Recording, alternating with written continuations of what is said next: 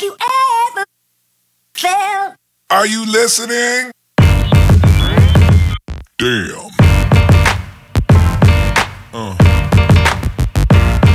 Yeah. Uh. Yeah.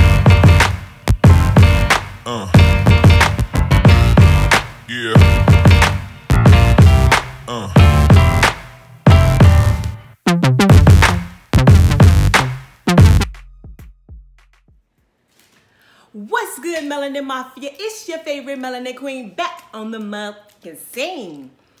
Y'all, she's ready to go in. You get videos all week.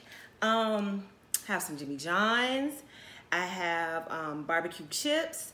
And these two are the Italian. And then this one is the um, um, turkey and bacon. This one look a little light. It's a little light. It's got lettuce and um, mayonnaise, pickles, supposed to be cucumbers. Oh yeah, some cucumbers. Oil and vinegar. And then, uh, which one do I want? Italian is like salami, ham, um, some other kind of meat. Pickles, tomato, uh, lettuce, cheese, mayo, onions. I, I can't even focus. I'm just ready to eat this. That's all I know. Um, me put a little bit more mayonnaise on it because I like my sandwiches juicy. Mm. Mm.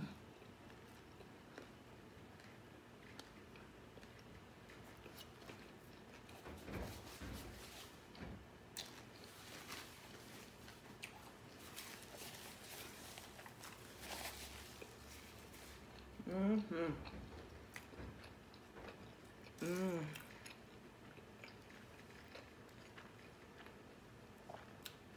Mm-hmm. That's gonna give me what I need. I've never had this turkey and um bacon one. So let me see. Let me see what this turkey one talking about. Oh, she looks weak.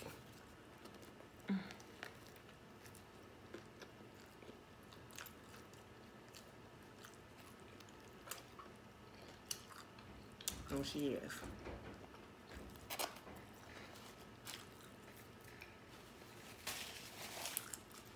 Very weak.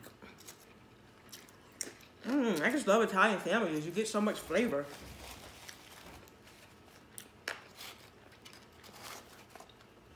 Oh, this ain't all that.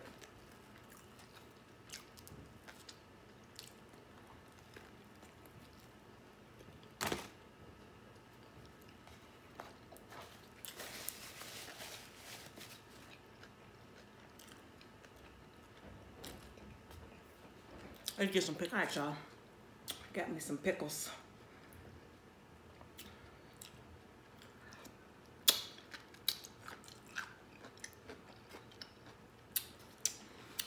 I love pickles with sandwiches, burgers, hot dogs, chicken sometimes too, fried chicken. Love me a pickle. See, that looks like a bunch of bread and ain't halfway no meat.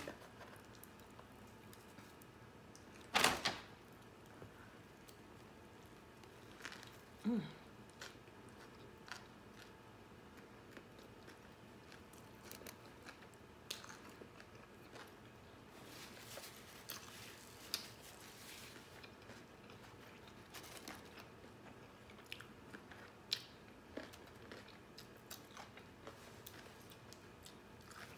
Mm-hmm. Mm-mm. Back on there.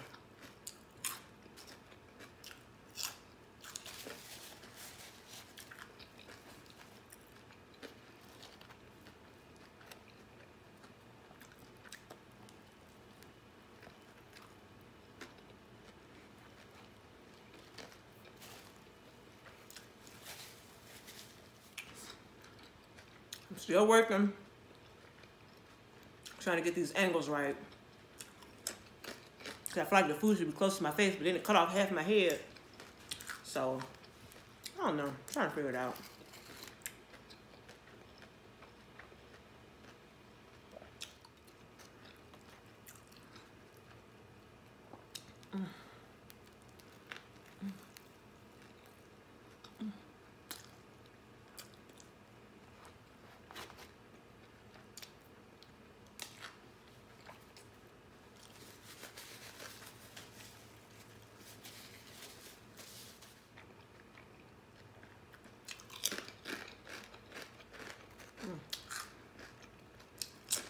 I love barbecue chips. I don't really like kettle cooked. Cause I feel like they'd be too crunchy. But I love barbecue chips.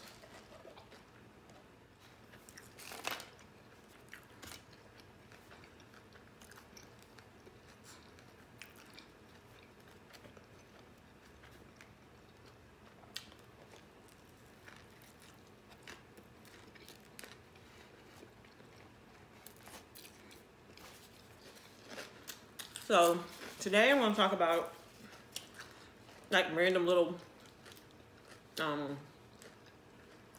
facts about me or my eyes cut off too. Okay, that's better. Um, yeah. Um, so I probably should have wrote out a list of this stuff because I'm about to be going off the cuff.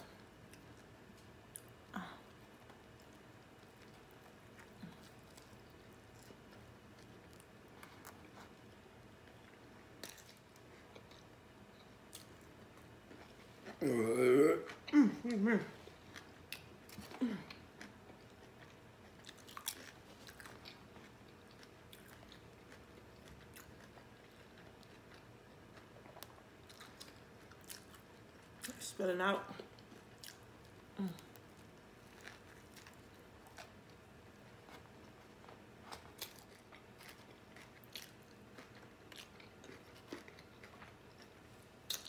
First fun fact. I um I used to play the violin. Um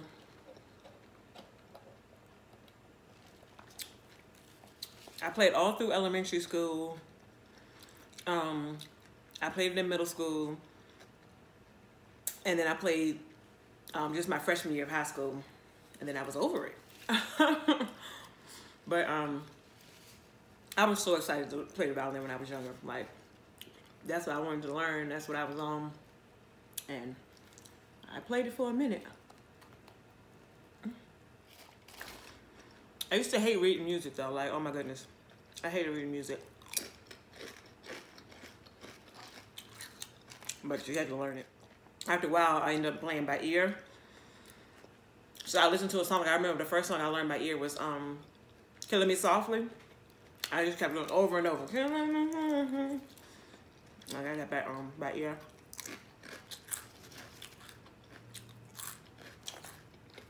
But yeah. She's trained, trained musician. How you doing? oh, like I said, a trained musician. I'm done.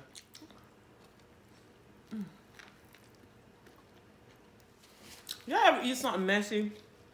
And it'd be like on your hands and stuff, and you feel like you have to lick it off your hands instead of just wiping it off. Like I feel like I need to eat every little piece that falls. Like I need to eat that off my finger. Another little fun fact is that um,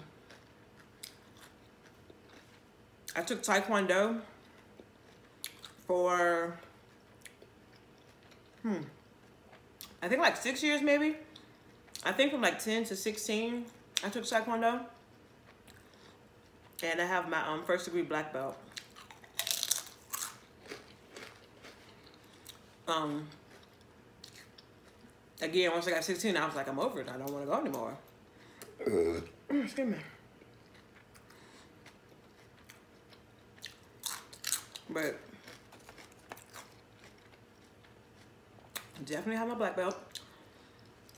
And like I literally like still have it. Like I can go in my storage closet right now and pull out my uniform gi and my belt.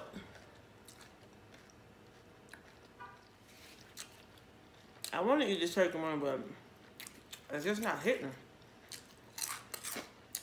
I don't know, it's my money, but it's not.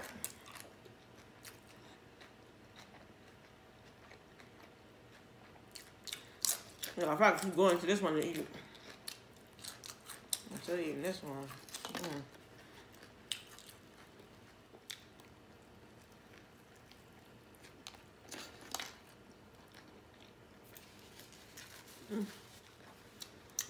So these are all eight inch subs.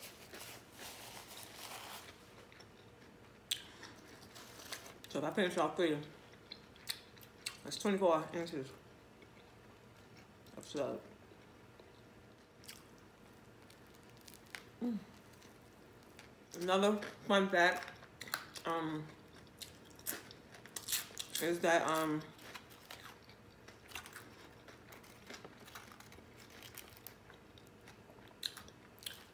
I guess, yeah.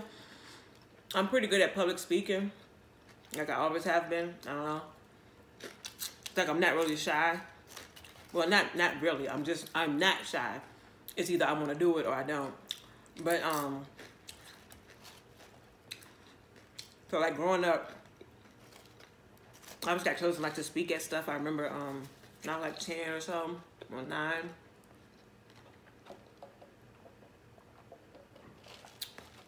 My little summer camp. I got chosen to speak in front of it. I think it was like 2,000 people there or something. Um, in school, at assemblies, like even in high school. I used to speak at assemblies and stuff like that. And um, it was so irritating because they, they started calling me um, Oprah in high school. And I just get irritated because I'm like, y'all trying to say I look like Oprah? I don't appreciate that. Like, give me, I don't know, I don't want to be Oprah. But then it was like I embraced it. I don't know. Oprah was like, open Oprah is, you know, a mogul pretty much. And was at the top of her game, you know, at that time or whatever. So for them to compare me to her, it's just kind of like, okay, it's not a dig. So I got over that. And now we had this, um, this little club I was in, um, Kiat Club and we got um, sweatshirts and stuff like that. You could put your name and stuff on the back. So I put Oprah on the back of mine because everybody called me Oprah all the time. I spoke at like the senior convocation and um, um, just a whole bunch of stuff. Like I, I always get asked to do stuff like that. There's even a picture in my um in my um senior yearbook with me, I'm speaking one of them times. I can't remember what the event was, but I just know I had the mic and was walking through the crowd. Oprah child. But um yeah, a picture me like dressed up with the mic, handing it to people in the um yearbook.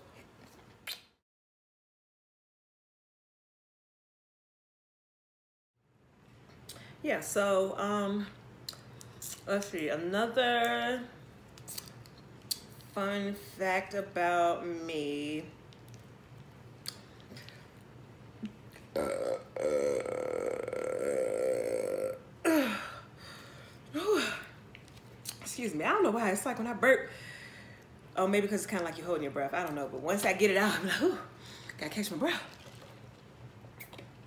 Oh, and this is sweet tea. I forgot to say that. It's almost gone tea. I don't like it. Don't feel like that's in there. Mm.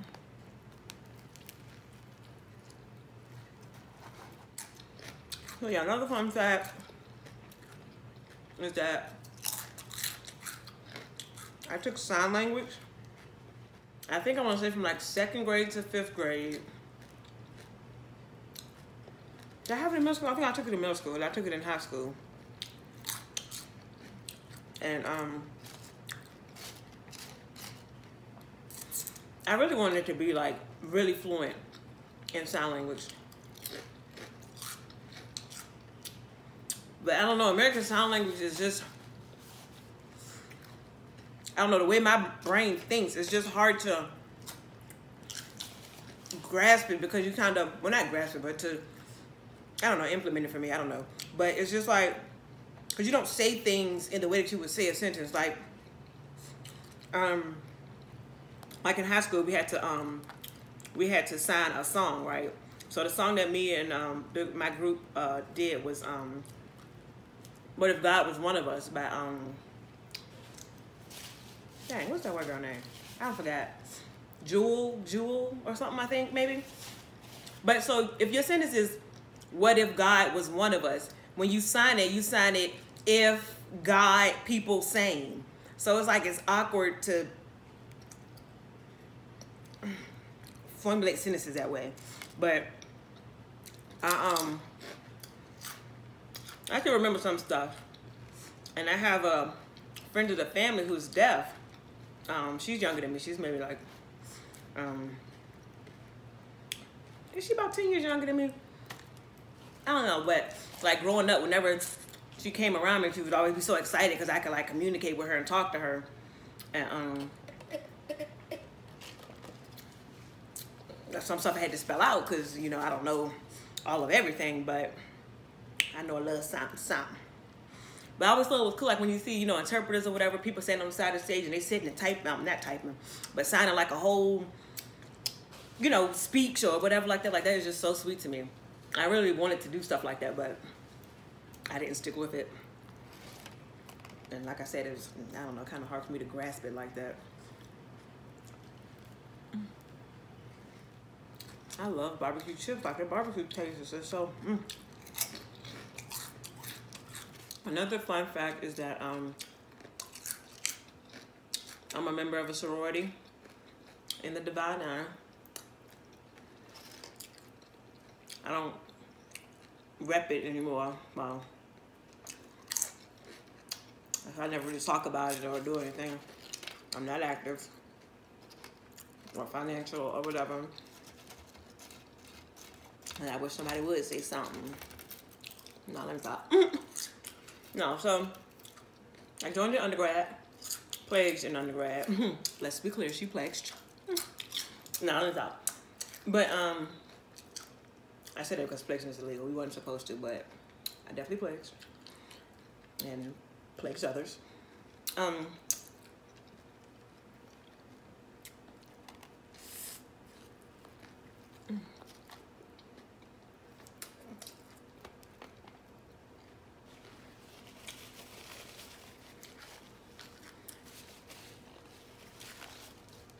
So I um crossed my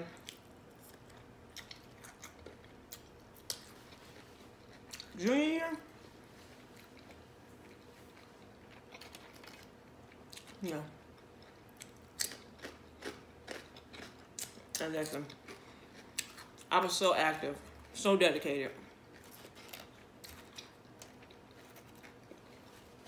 So once I went in and joined, they voted me as the second vice president. No, first. First vice president. And then my senior year, they voted me as president. Okay? And I graduated from college. I went and joined a um, graduate chapter still active, still financial, da da. They wanted me to be. Later on, I found out they was trying to get me to be the president, but they first I went in as the um first vice president again. And when I was getting ready to move down here, the president came to me and was, you know, asking me if I wanted to be the president and trying to prep me for it and stuff like that to, for them to pretty much vote me into being the president. I said, no, ma'am. She's moving. No, thank you.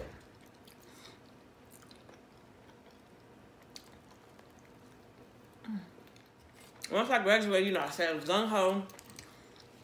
Oh, Excuse me. I joined a competing step team. And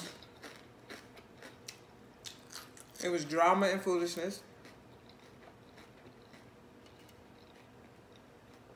and I'm so not with the drama and the foolishness. It was drama and foolishness in undergrad. But you know, when you first go Greek, you know, you're so excited and stuff. Like you wouldn't catch me without a piece of nail yarn. If it's a lanyard, it's a keychain, if it's a necklace, if it's a bracelet, a line jacket, a keychain, something. She was repping, and you knew. But um, and then I was very active on campus too, so everybody knew what what she was because it was very obvious. But um, drama undergrad, drama in the grad chapter, and um, joined the first step team, or run a step team, and it was drama. So a group of us broke off from that step team and started our own step team. Um, and it was drama.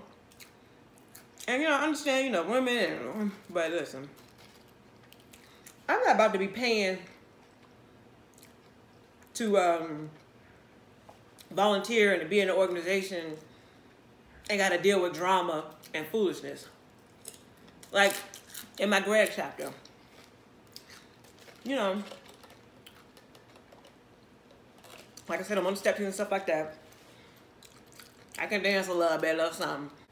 She asked me to be the choreographer for our debutantes um, little ball thing or whatever. So they had to have a dance with the girls do a dance by themselves, the girls and their escorts do a dance, and the girls and their fathers do a dance, and the fathers dance with the girls, and then the mothers dance with the escorts.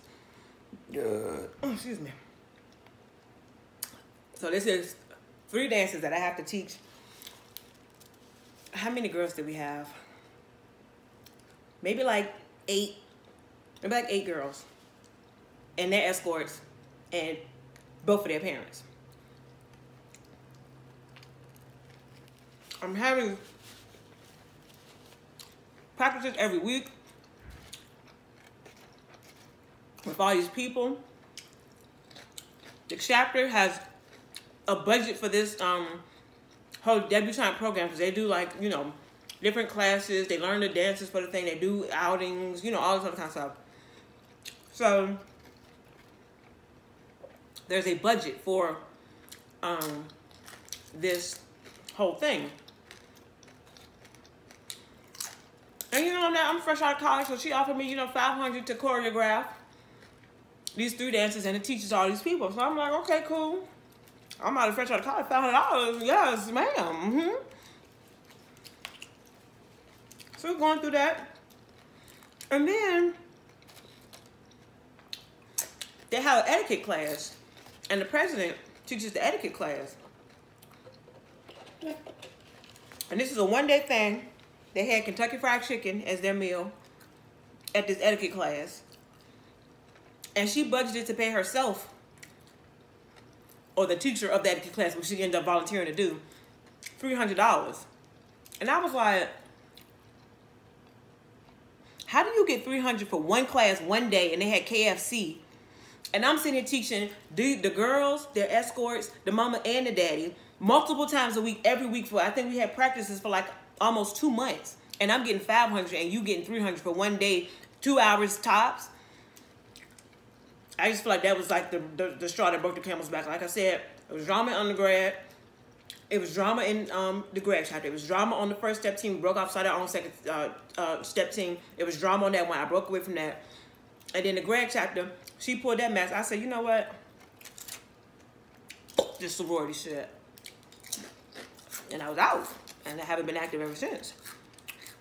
I was going to. When I first moved down here.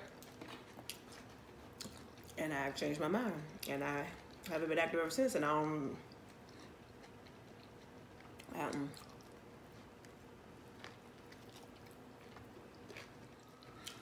I don't know. I think about it every now and then, like getting back active and the repping.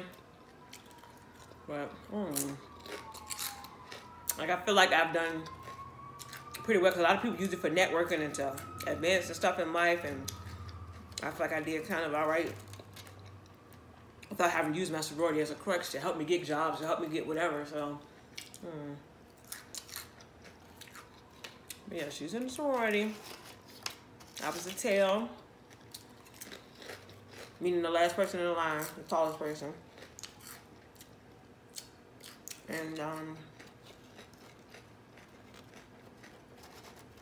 yeah. And I was very active. Like, this is how I am as a person. Like, when I'm in something, like, I'm in it for real. Like, I'm in it. I'm dedicated to it in it. But once I get to that point where, like, uh-uh, you done pissed me off too much, or I done got to the point where I ain't interested no more.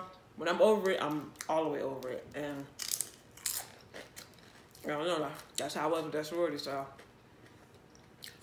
It's like, I'm over it.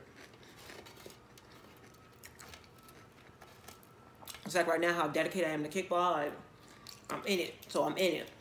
And it's just always have been with like clubs or activities, um, relationships, whatever. Like when I'm in it, I'm in it. And when I'm over it, hmm, she's over it. The backseats. Mm. My leg is going to sleep. This angle, having have my leg bent, is my uh, right butt cheek is sleep, and my right leg is sleep. Like, for real.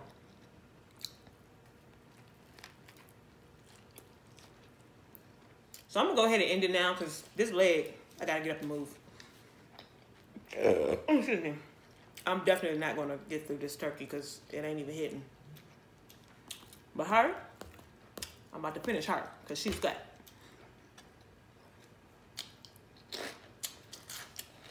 But yeah, I appreciate y'all for watching. You learned some little cute little facts about me that you probably didn't know already. And mm, I'm gonna catch y'all on the next one. Mwah.